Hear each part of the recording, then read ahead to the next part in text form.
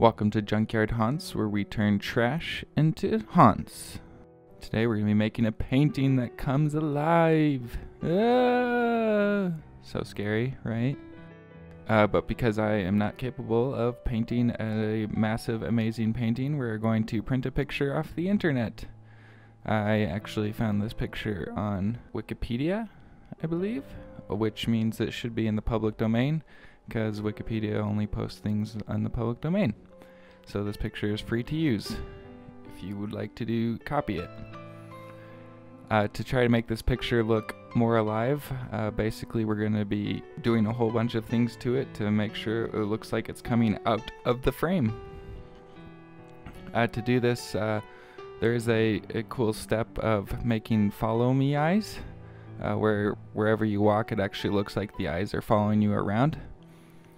Uh, this, because my eyes are so small, it doesn't look super great, but it does work a tiny bit. But if you decide to make your own picture, follow the same steps and ideas, and you'll be able to make follow me eyes better. Uh, basically, you cut out the eyes of the picture and then make a thicker, I guess, base. And so that the eyes can be placed much further away than the rest of the pictures. And then when you do that, when you walk around, the eyes actually look like they're following you. Uh, it's a pretty simple technique. Um, but I'm actually using uh, paper maches for my my hole where the eyes go, just because I don't want any. Um, like when you cut cardboard in half, you see the insides of it, and I don't want to see that. So paper mache is a good way to mask and hide that type of stuff. Uh, to now, some easy ways to make sure the picture actually looks like it's coming out of the frame, in my opinion, is hair. Hair is something that really long and raggedy hair can actually make things look creepier, but it also makes it one of the easiest ways to make it look like it's coming out of the frame here. And so, since I don't have black hair, I am using my red hair that I have used on other props. I can put a link there for that and I'm just spray painting it black. Obviously an easier way would be to, to get black hair. But I just glue that on, uh, put a whole bunch of glue. The, the glue dries clear so it's no big deal to put a ton on and it will make sure it stays better. And after it's on you just trim it up and then just repaint the touches because it obviously you'll still see some of the red spray paint won't show through the hair very well so that's the only reason I'm repainting the hair. And then to make another part that actually makes it look like it's coming out of the frame, we're just going to go ahead and, and make the knife part of it. And we're going to use more cardboard and just paper mache it together to make it look more like one piece. That way later on we can actually angle it out to make look like it's he's coming out with a knife to kill people. Boo. But then we're going to go ahead and build a frame for this. Now I wanted to make the picture first so that we can measure the frame to the picture since I wasn't using any specific lineage, lineage, lineage. That's a word, right? Uh, and I can just measure it based off the actual picture as opposed to having to measure a whole bunch of things at first. Uh, and then just make a whole bunch of angle cuts. Now my frame is going to be pretty thick but I'm gonna double layer it and actually basically kind of have two frames together, a thinner one and the thicker one. And because I didn't have enough wood uh, to fit all of this, I actually, that angled little part on top, I just cut a little bit out and tried to make it look more like it was done on purpose. Uh, that way it can age the, the frame a little bit, make it look more creepy, but also just because I ran out of wood. So I'm actually using a tool here that I've never used before. Um, and it's it's basically so you can put little wood dowels in so that they're, they're like footballs. I'm not sure what they're actually called. I know this is a very helpful how-to tutorial. But I'm using wood glue just to glue it together. But in the end, um, I was talking to my brother about this, and he basically said that since the frame is so small, really all you needed to use is the wood glue to glue it together. And to make the little frame part on top, I'm just using a, a like nail gun and just hammering in the extra nails that stick out. Uh, this is obviously not the professional frame tutorial, so uh, we're just doing this to to make it look creepy. And as long as you don't get stabbed while hanging up this frame, that's all that really matters. Now I'm just trying to round the edges, but because I pre-built it before I rounded the edges, uh, it didn't work very well. So I actually just take a sandpaper and basically round the edges with sandpaper because the, the tool didn't work that well.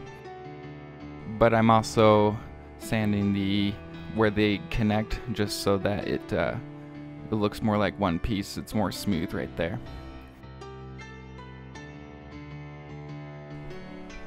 I'm going to be making videos every Monday, so go ahead and subscribe to follow along.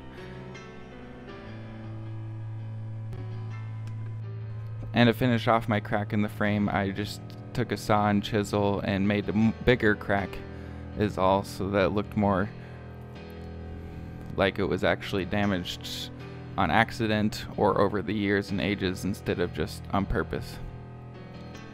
Now I'm actually going to stain this frame with real stain. Uh, I made a frame in the past, I can put a link up for that. Uh, and I just made my own stain for it to make it look aged. But this time I just used real stain. Um, and how you apply stain is you paint it on and then take a paper towel and rub it off. Uh, the longer you wait to rub it off, the darker it will be. And then I put a varnish on after it is the stain has completely dried. Uh, to do this, I just use a rag and dip it in the varnish and rub it down. Uh, make sure we're covering all parts. And after it dries, I take steel wool and sand it down and then uh, once again apply more varnish. I do about three coats of this, um, but you, two is probably enough. Uh, three is definitely enough, and if you want to go more, you know, it's up to you.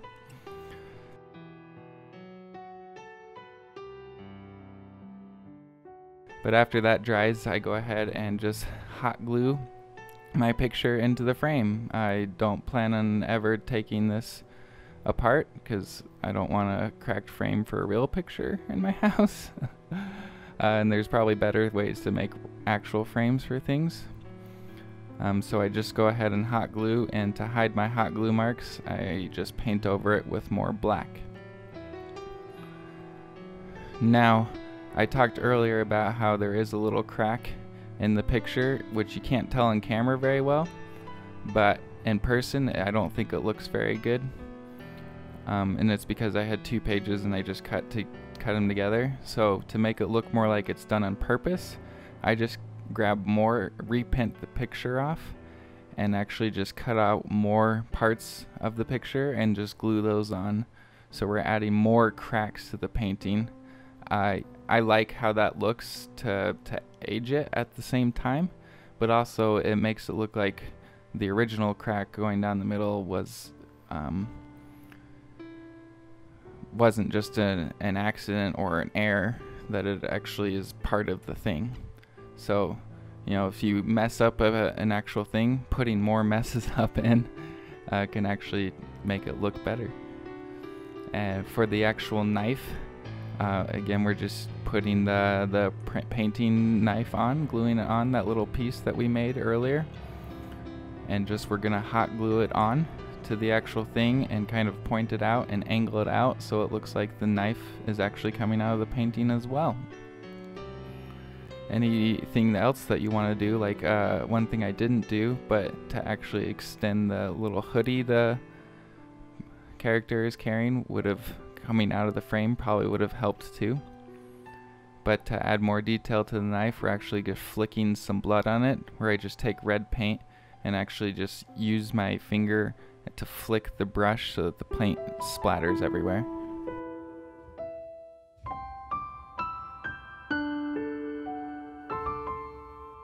Oh man, it's coming right out of that picture. Ah! Thanks for subscribing.